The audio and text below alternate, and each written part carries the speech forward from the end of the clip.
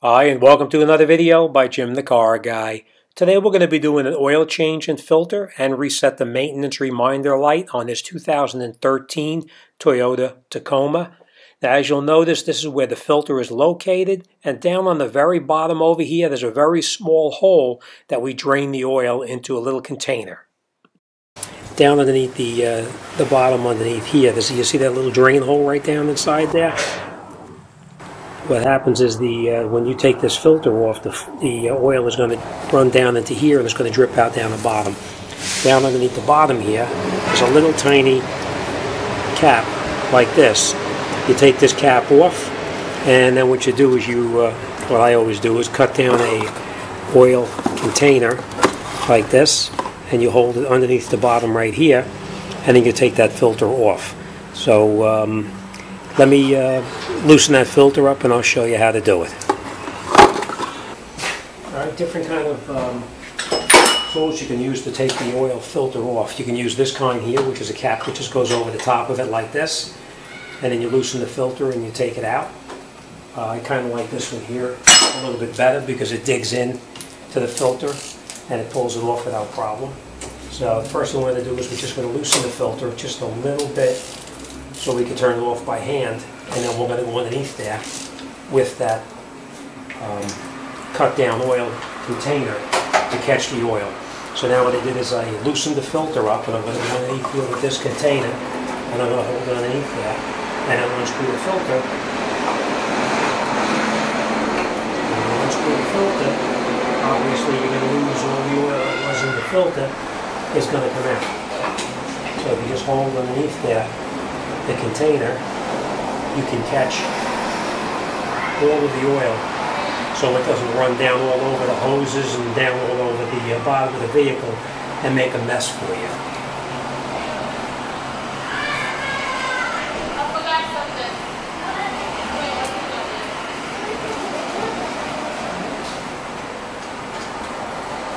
When after it stops dripping, you put your cap back on.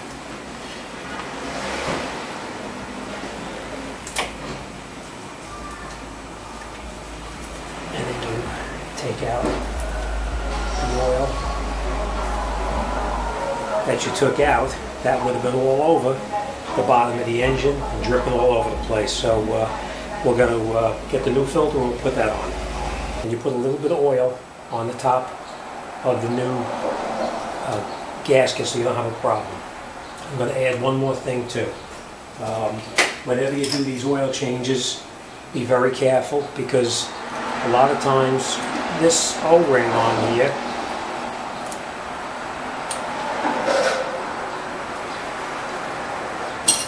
Sometimes this O-ring, when you take the filter off, sometimes this O-ring stays on top of the housing over here. If it does stay on top of the housing, you have to take this O-ring off, and we're going to throw it away. We don't need it. Because the new filter comes with the new O-ring in it. And we're going to put the filter on, we're going to screw it on, put a little bit of oil on here so that it's, uh, so that it's actually uh, lubricated.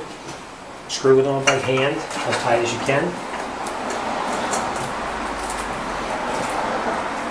And as long as you make it as tight as you possibly can by hand, you'll be in good shape. You don't have to worry about uh, tightening it up with a tool or anything. Just make it as tight as you possibly can by hand and you're all set. Uh, okay, now that we got the truck up in the air, underneath the, uh, center of the truck. It's fairly easy. Uh, when you look underneath here, you'll notice that this is your transmission over here in the back. Uh, this is your front axle over here. And this is your oil pan right here. And this is the oil drain plug. It's a uh, 14 millimeter plug in the bottom of the pan.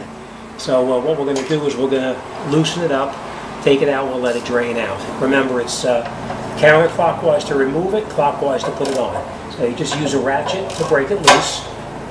And this is a normal ratchet. It's just, I like the ratchet that's got the flexible head because it gives you a little bit of clearance when you try to get into tight spots. So it's uh, just a regular ratchet with a 14 millimeter socket. Uh, obviously, you're going to drain it into a bucket. You're, uh, you're going to remove your oil drain plug. And uh, we'll let it thoroughly drain out. All right. Um, a good word of advice too is whenever you're working with any kind of oil or anything like that, wear yourself a pair of rubber gloves. Um, they say that this oil is no good for you. Supposedly, it's bad for your for your skin, dries it out, causes cancer and all that kind of stuff. So uh, be careful. Wear a set of gloves. Much easier to take the gloves off and throw them away than to try to clean the stuff off your skin. So uh, we're going to let this drain out a little bit, and um, once it finishes draining, we're going to come back. We're going to put the plug in, and then we're going to lower it down and uh, put the oil in. Now that the oil is finished draining out, we're going to put the drain plug back in. You don't put the you don't screw the plug in with the ratchet. You screw it in by hand, all the way up as tight as you possibly can get it up there, and then you use the ratchet to uh, to tighten it up to make it snug. Remember, you don't want to strip out the pan. It's a fairly small nut. You just go in there and go a little bit more to snug it up. Wipe all your excess oil off of it, and uh, that's it. You're all set. So let me uh, lower it down, and we're going to put the oil in it, and we'll get this get this car, uh, this truck wrapped up. We got the truck back down on the ground. This is where your motor oil is going to go in. Um, you always have to make sure you use the correct motor oil. Uh, in this particular case, this calls for a, uh, 5W30 motor oil. Um, it, most of the time, most of the time it's always on the uh, oil cap itself what weight oil you need. Always make sure you follow the recommended, whatever's recommended by the manufacturer. Um, so they're going to put in 530 um, motor oil, and I looked it up on the computer. This one calls for 5.5 quarts. You could look it up in your owner's manual.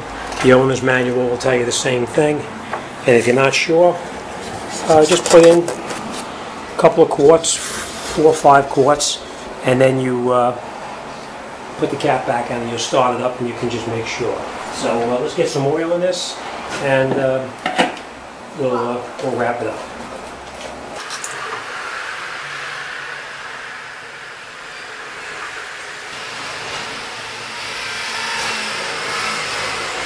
Once you got your, uh, your oil in there, we're going to uh, take the, uh, the oil cap, put the oil cap on, and we're going to start the vehicle up. Make sure you put your cap back on the car, the truck in this case.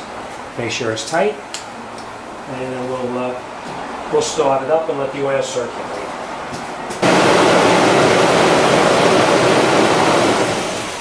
You um, have the vehicle running, you let it sit for just a minute, and then we're going to pull the dipstick out, and we're going to check to make sure that the oil level is full. And this particular dipstick is on this side over here. What you do is you take the stick out, you wipe the stick down, and then we'll put it back in, push it all the way down as far as it goes.